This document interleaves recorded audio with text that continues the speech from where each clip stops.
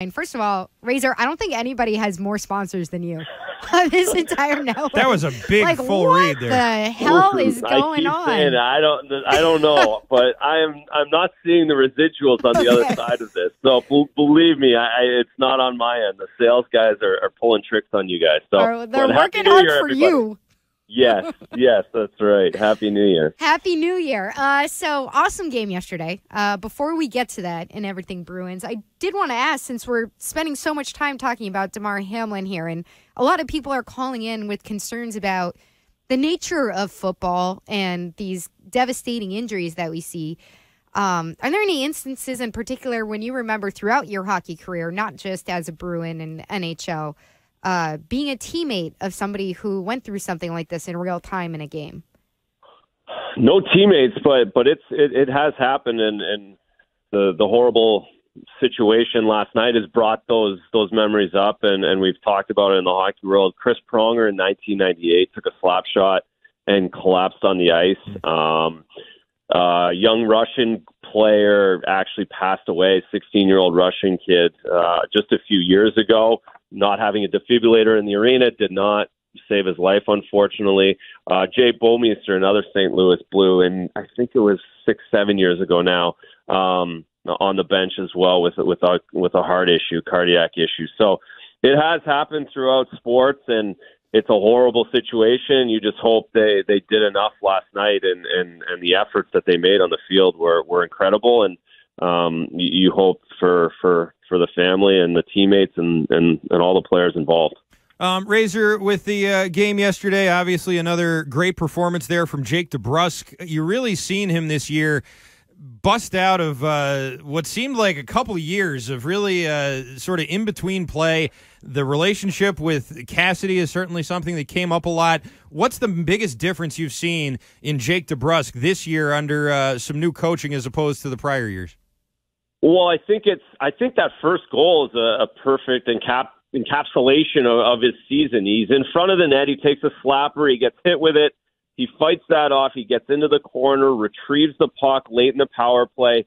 Then he gets back to his spot low on the goal line. Brad Marchand makes a great play to him, and he takes the puck directly to the net. He's not looking to make another pass.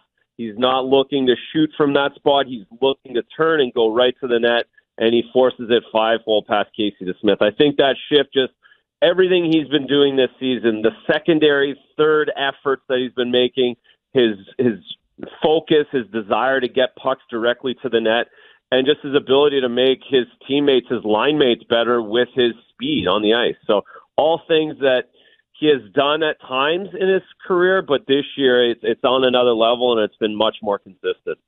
Yeah, you bring up that consistency. I just think about where we were talking about Jake DeBrusk last year with this team. What is it about Jim Montgomery and I guess the relationship that he's built with his with his players and with Jake DeBrusk in particular that he's able to bring that out of him character wise? Well, it, it's. I think one, it's just a different voice. I think you start there. We all have have situations in our life where one way is not working, and, and any other way will be better. I, I think there's a little bit of that in this situation. I think the way Jake finished last season and the way his teammates, and, and in particular Brad Marchand, Patrice Bergeron, almost uh, took him under their wing again as a bit of an older player, but took them in, took him in on their line last year and said, "This is the way we're going to do it. You do this, this, and this, and, and we're going to be fine." And I thought Jake did a did a great job turning the corner at the end of last season, and certainly with Jim Montgomery, he's taken a whole nother step. That positivity, just that mental reset that you're able to have in some off seasons. Jake's taken it a little personally and taken it to heart and, and motivated himself with it. And then, of course, when you get positive reinforcement like he's been getting, it only builds. And he has all the skill and talent in the world to be a consistent 30 goal scorer, and we're seeing that right now. Razor, I feel like this time of year is usually when Bruins fans start lamenting about the fact that there's no secondary scoring and the top line has to do all the work and it's just the same thing every year. That's not happening this year. It's not the case this year really at all. The top line's still uh, doing great, but they're not even really the top line anymore. Um, what do you think has been the, the key driver between or uh, towards all of the uh, secondary scoring, I would say, but not just that. Uh, these other lines sort of coming together and clicking more earlier on in the season, maybe than in years past. Yeah, oh, I think I think the defense. I, I'd start there with the way the defense is playing, the way they're playing a little more offensively, jumping in the rush a little bit more, doing a better job getting pucks through from the blue line has helped the offense altogether. It's helped the forwards, it's helped each line, and especially the the fourth line, the third lines that really rely on puck possession, the low high game, getting pucks to the front of the net, the tips the screenshots, the battles, the pig piles out in front. So the D's done a really good job with that. And then it's it's David Krejci coming back and, and being able to be a center on that second line. We saw the goal that he set up the second goal from Taylor or from Jake DeBrusk, but it's Krejci going through the middle of the ice, sifting through four Penguins, finding Taylor Hall, perfect timing down the wing. So when you can roll out uh, a David Pastrnak with a David Krejci, or you switch it up and you go Hall, DeBrusk, Krejci, or you switch it up again and you have uh, David Pastrnak go up to the top line. So just having Krejci in the middle allows so many more line combinations to work well, but at the end of the day, it really makes David Pastrnak happy, and we've seen that all season as well. We're talking to Andrew Raycroft. So, Razor, I'm wondering with yesterday, look, Winter Classic is an awesome event uh, every year yesterday's game was particularly exciting. But as a player, is there any part of you, especially as a goalie, who's like, I don't particularly want to play outside in this, you know, not knowing what the weather is going to be and the conditions and everything when these games actually count for our record?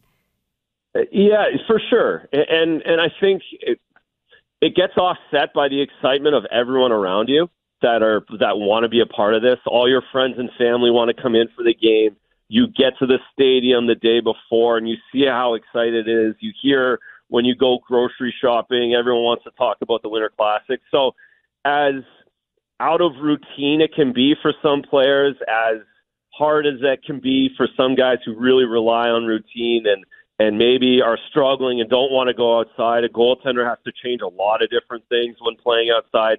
I think that as annoying as some of those things can be, most of it gets put aside because of how excited and how cool the game has turned into. And and the older guys recognize too, and we heard a lot about it the last couple of days. Just they're probably not going to play another one of these. Boston's had a lot lately. Mm. It's hard to imagine seeing another one here in the next five or six years. So I think they really wanted to to go out winning and put on a good performance uh, despite some of the challenges that that the outdoor game can bring. All right, finally, Razor, uh, got to comment on it because he keeps on winning. Linus Ullmark, I mean, the $5 million, I know when he was signed, people wondered why you'd uh, spend an extra 5 million on a goalie when you got a guy like Swayman there already. That's starting to look like the best deal in the NHL. Is he going to keep this up all year, do you think? I mean, you were a goalie. Like, where did this come from with this guy?